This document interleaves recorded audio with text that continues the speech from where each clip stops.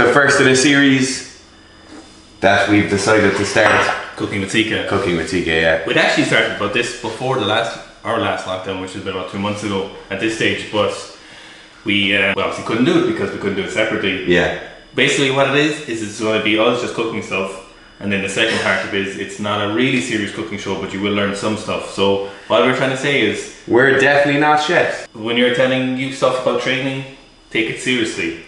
But when you're telling about stuff like this, this is just personal preference. But what tastes delicious, Yeah. Like, it'll either be very, very, very, very tasty food that's not going to be productive for your athletic career, or it will be very, very practical food that could be productive for your Yeah. career. It's going to be a mishmash. So today's going to be a mixture of those two. Yeah. The meat is going to be something that's going to be very practical. But tell them what today's is. So what today's is, we're going to do steak and spuds basically. Yeah. Uh, the steak, Don't just stop. Fancy potatoes, and nice steak. Yeah. So the steak we're going to do is just an option. It's venison steak. Um, we're going to talk about cutting full steaks from a full roast. So we're just it's like a top roast uh, piece of venison we have. The spuds then are going to be slightly more upmarket, so probably not every day you're going to be eating these spuds. Uh, but this is literally the meat we'd eat every day for lunch or for dinner. So I'm going to make what's called potato latke. Um, I think it's a Jewish and I, word, and I could be saying it wrong, but it's what it's L A T K E. Uh, you probably have your own ways making them, and if your mother has been making them for the last 50 years, don't come at me, bro. All right. What we do is not follow directions on recipes. So we look at the recipe, we look at the ingredients, and then we'll go, "That's nice," and then just not follow it. And now I've seen my mother do that. My mother is my mother actually is a chef. Yeah. She never follows the recipe. But she's an actual chef. And she gets the ingredients. But our food always tastes good. Yeah. Always tastes good. So just trust us when we say this tastes better this way. Usually we're also pretty lazy with cooking, so if we do it that way, it means it was the easiest way, but still tasting good. Yeah. So it's just a practical cooking show. So Fitz, first up is Fitz is going to be doing his, his. Absolutely. So what we're starting off with today is like a top roast of venison. So this is basically just one of the bigger muscle groups from the back leg. This animal was taken in October of this year, September or October of this year. How pretty deer is it? Uh, it's this is a fallow deer, so it's a deer we have like locally here, Native deer. native deer to Ireland. Ain't no foreign deer. Ain't no foreign deer here. So what like the reason I wanted to do this today is a lot of time when we tell people to be eating like steak and rice every day, they're saying, "Oh, steak is so expensive." Obviously, everyone's not going to be procuring the meat themselves, but you can buy cuts of meat like this. So this will be a typical cut of meat you'd buy just whole from a butcher. You can do this and cut your own steaks and get the entire roast used up as like easily friable steaks. It'll taste really, really good and it'll be a hell of a lot more cost effective. So this is just standard piece of meat. We'll just cut some steaks off it. So usually what you'll do is you'll do something called squaring off a roast.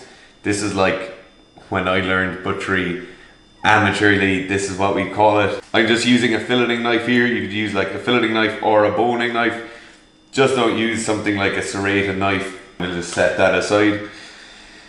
Typically with your steaks, you want these because they're venison steaks to be kind of thick. We'll want these to be done medium rare. We might have them a small bit on the rare side of medium. We'd usually call that, um, would be in Ireland, would be a sirloin cut.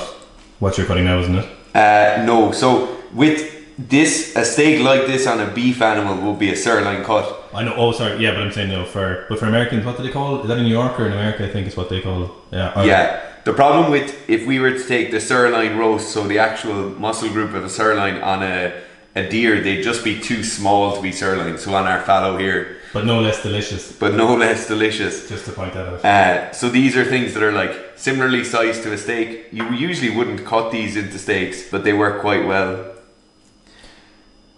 I think you've kind of perfected the art of frying steak. I don't think other people fry steak as much as we would in terms of or frying deer, especially is what I would say. Yeah. No one else. Frying deer is like it's a bit of a subtle art because it dries out very very easily. Yeah, most people don't fry their deer. A lot of people will do is cook whole joints. They'll cook, uh, grill it, Yeah. roast it, slow cook it. But no, you. I would fry all, all the deer I get. The I don't like, I don't particularly not a huge fan of the slow cooking. Yeah, I really like slow cooking, but for lunch I just prefer steak. Slow cooking is great if you're feeding a lot of people, Yeah, absolutely. but for a day to day eating, frying is just so just so much more Yeah. Versatile and tasty. It's consistently tasty. So this is like the disadvantage of having a whole roast is that you'll get pieces of silver skin. Your butcher can take these off for you a lot of the time. It's very very gluey onto your silver skin Silver skin, yeah. compared to So that's the myofascia a cow. for those of you who like foam rolling. So what we're left with here is we'll have three or four steaks. We're just gonna probably do three of them for today. The next piece on from this then, like this has been washed and dried. The next piece on from this will be applying a small bit of oil and doing some seasoning on them. What we have here is pepper, hot chili powder, and just normal smoked paprika. These are like the cheapest spices you can get in like little Aldi, whatever. We use a, a lot of them on a weekly basis, so we don't really go for expensive ones. The important thing to talk about here is we'll put salt on after the steaks are cooked, but when we're talking about like seasoning a steak directly before we put it on the pan, the last thing we want to do is put salt on the steak, have all the salt draw the moisture out of the steak, and then when we go to eat it or when we go to fry it, that moisture will just flash off straight away. So, particularly for venison, you'll see there's no fat. Like this is all just silver skin around the edge, so it's a very, very lean cut of meat. And typically, we don't fry venison because it dries out too much. So, this is one of the key things we want to make sure we don't dry out the meat by salting it or by kind of overly cooking it. Part of not wanting to dry it out, obviously, is we're just going to apply some oil to this. We'll have oil in the pan as well. So, a very small amount, just over the top of the meat. Obviously, because we're not psychopaths, we wouldn't usually put spices on a plate like this and apply them as if we're in a cooking show. But it just it gives you an idea of the kind of amounts we'd use. We are in a cooking show. But we are in a cooking show today. So a good bit of pepper, like a lot of this is just going to cook off anyway. We need to make sure we keep some for the other side. Paprika is probably the thing that will make the most difference to the kind of like fullness of the flavour. Um, and the real reason we use hot chili powder above a mild chili powder is we don't want a huge amount of like chili flavour on the meat. I just want like that bit of heat um, on the meat as we're doing it. So I'll get these done. Just rub those in. And then our steaks can be flipped over and sorted on the other side. I hope that squeeginess is coming across on uh, on camera. So that's ready to go now. It's oiled and everything. This has been defrosting for the morning, so for four or five hours. So it's pretty much at room temperature now. If you've just taken this out of the fridge, uh, you need to make sure those steaks are room temperature or slightly above before they go in the pan. So Garf's going to do his bit now. I'm going to leave these to rest for a while, um, and we'll be back in a sec. Just wash your spuds because you don't want a bit of dirt. in them. These spuds are from just over the hill there. So obviously just wash your potatoes. Out that way, there's an honesty box. Uh, I don't know if people in other countries have honesty boxes, but there's things in Ireland that's quite common. Is people will grow their own vegetables, a lot more so in the last few years, and they'll essentially get a lockbox, a shelf. Sometimes they'll have a refrigerator unit. They'll leave it outside their house or at a junction where people will often go to, and then you just put in money. Sometimes they put a prices. Sometimes people leave money. You're actually better off not putting a price on them because people will give you more money. Yeah. Uh, people will feel guilty, uh, and I've never heard of anyone robbing from a lockbox ever. Not once have I ever heard it happening from an honesty box, which is very strange. Yeah, and they're usually superb quality. So it's actually Latcaz as well, not Latca. I just made sure there. Uh, I, like I said, nobody come at me, right? What size do you want, Fitz? You want this size or this size? I want thickies. You want the thickies? Yeah. Okay, so basically what they are is just really nice potato cakes, but they're actually they're very simple to make, but they're pretty nice. I don't peel them when I do them. I often use baby potatoes because it's just a little bit easier, but I'd imagine most people would peel them beforehand, but we're not going to do that. So basically, all you do is just grate your potatoes.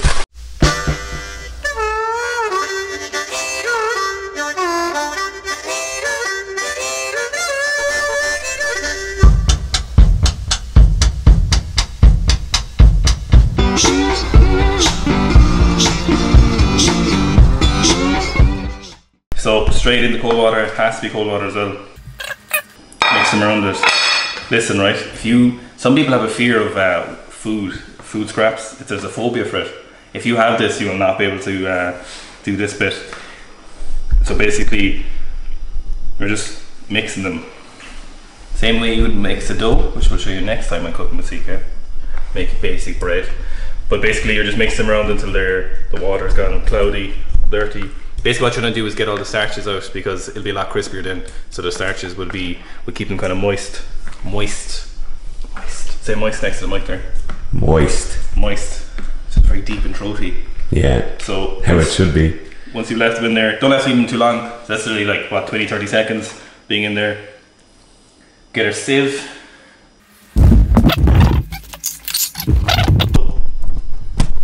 Flexing as hard as you can. Uh, basically, straight into the sieve. All of it. Sieve it in, board bit, squeeze it out. Look at that. We don't want that. Nobody wants soggy potato cakes or potato latkes. If someone knows how to say it properly, just give me a phonetic pronunciation in the comments and leave it at that, right? And then if you come along and you hear me saying it wrong, just like that person's comment so you know I was saying it wrong and you don't have to leave a comment, alright? We leave it at that. Is that fair for everyone, right?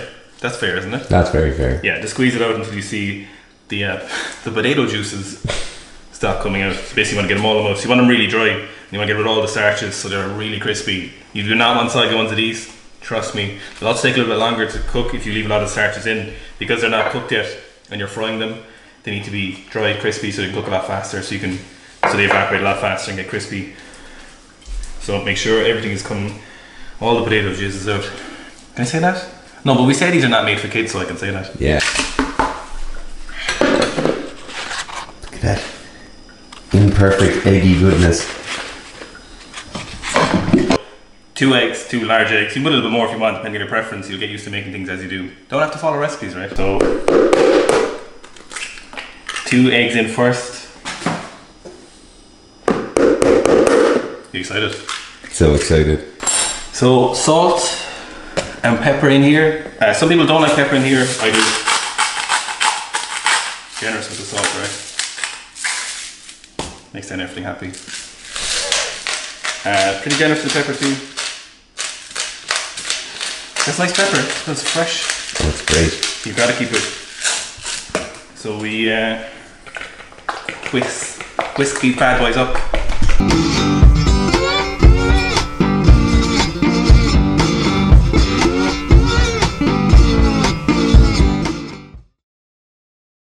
So basically, just the quantity of eggs corresponding with the amount of potatoes you're making. So if you're if you put in four potatoes, obviously two eggs is not enough. I like to make them a little bit moist. There we go again with that word. Uh, straight in. Mix them around. So you'll see they'll dry up pretty fast because you've taken all the starch out of the potatoes to kind of soak up the eggy goodness. Okay, so what we have here is those seasoned steaks with some oil in them. This pan is now very hot.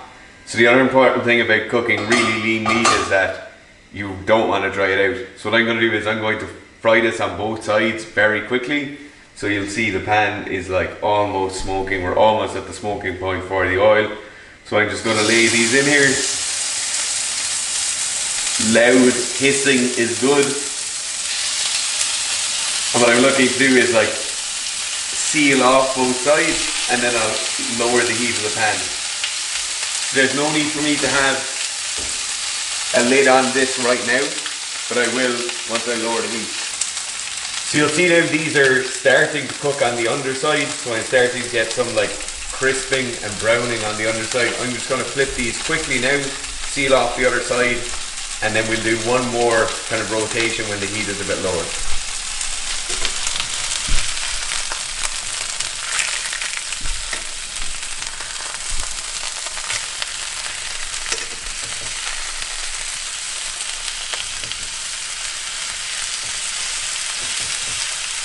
So these have been in here for like five or six minutes now, maybe a bit longer. Uh, if you come over to look at the pan, there's a lot of moisture left in there now. So we talked about having one more flip left to do, and this will kind of finish cooking the other side of the meat. It will also flash off some of those juices, and then we're left with good steaks. And last piece is just letting these rest. If you want these to cook more, you can like add foil around the outside. I prefer adding foil around the outside usually because these are usually pretty rare. I think these are going to be pretty medium though.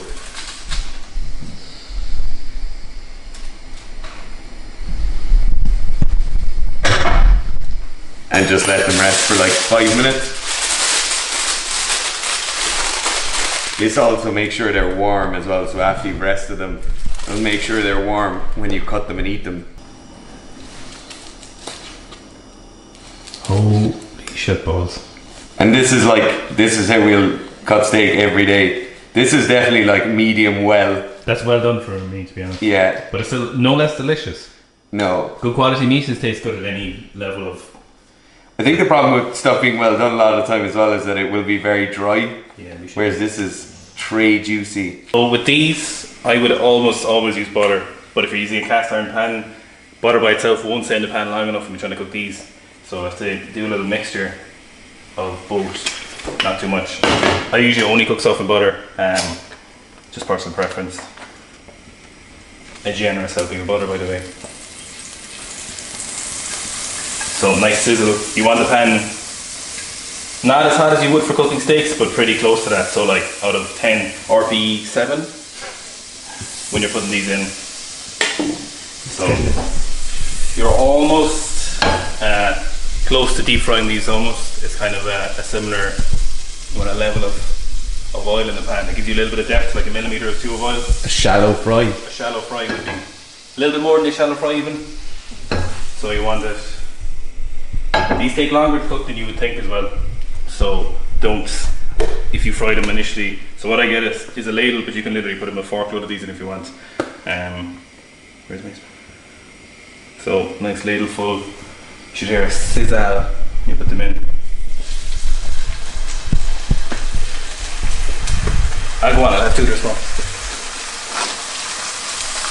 So initially in the pan, the egg will spread out. I like an eggy.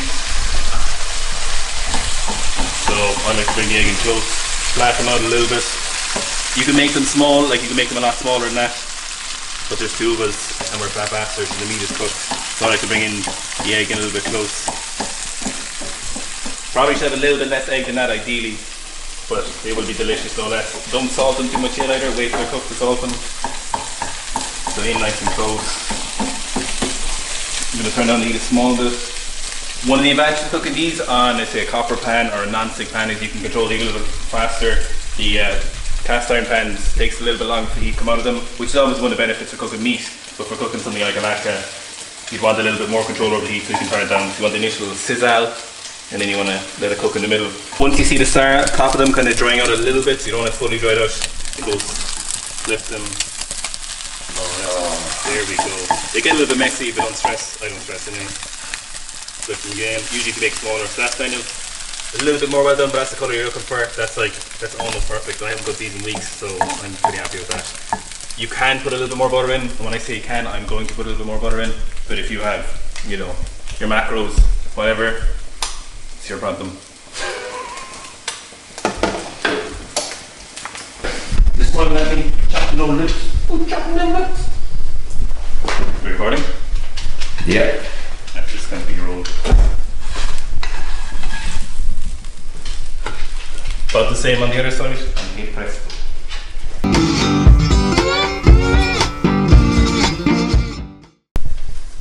Doesn't mean it's wrong. Does that smell nice, Sinks? Does that smell nice? Thanks for watching. I always eat these with a generous serving of salt. And then some cuts of venison are great with a bit of hot sauce. Yeah. Especially thin sliced steak seems to suit hot sauce phenomenally well. Thanks, George.